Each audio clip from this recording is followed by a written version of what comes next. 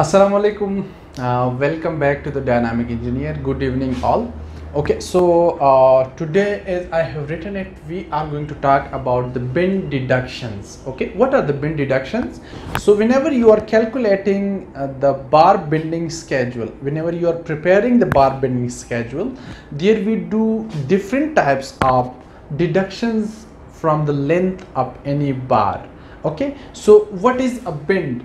Uh, you would have seen that we do use bars and bends as well. Like if this is a bar here this part is a bend bar.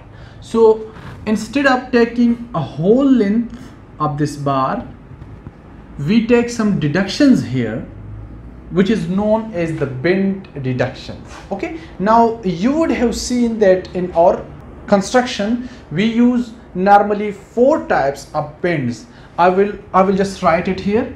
The number first is the 45 degrees the 45 degrees bend. Okay? Its shape is somewhat like this. In this angle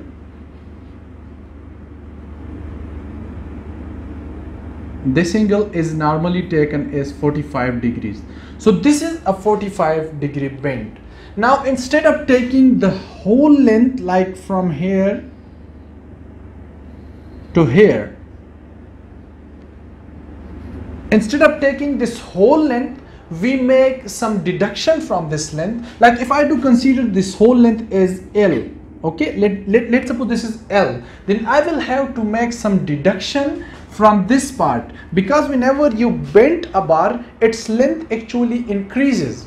So to to to take the actual measurement of that bar you will have to cut up that increased part so that the actual measurement may be taken. Okay? Now this got importance specifically in uh, beams construction or somewhere we do need accuracy. You will have to take this very much serious. Okay so what is the length that we do subtract from the actual length is we will have to cut a length of 1d whenever you are making a bend of 45 degrees 1d means 1 multiply by diameter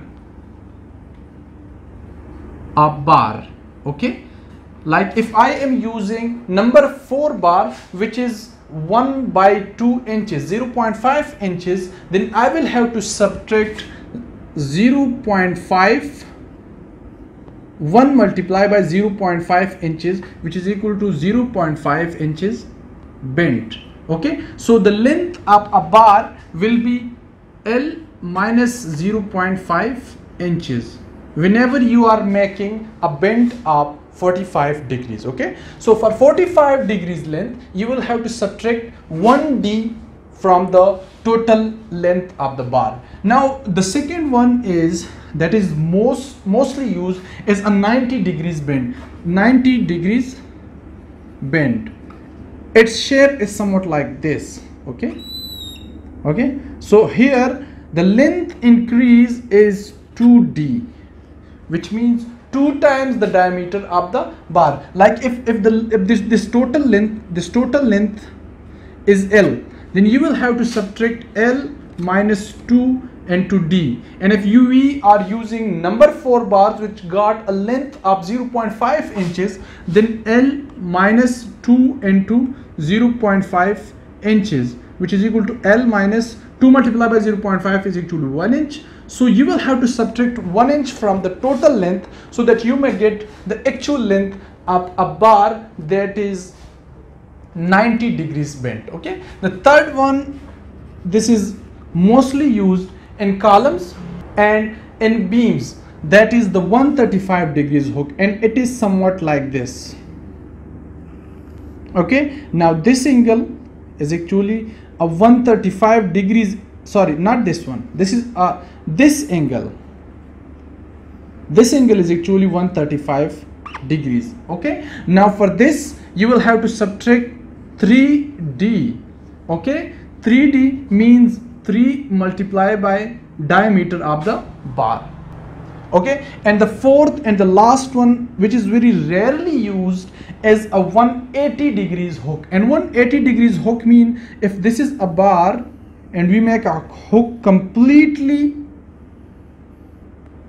in the same parallel direction then this angle is actually considered as 180 degrees hook okay? 180 degrees hook mean a complete u-turn. This is a normal word for you people. So this is 180 degrees hook. And for 180 degrees hook you will have to subtract a length of 4 into d. Like if you are using a number 4 bar that got 0.5 inches length uh, sorry diameter then you will have to uh, subtract 4 into 0.5 inches which is equal to 2 inches. So the length of a bar that is at 180 degrees hook the actual length will be L minus 2 inches.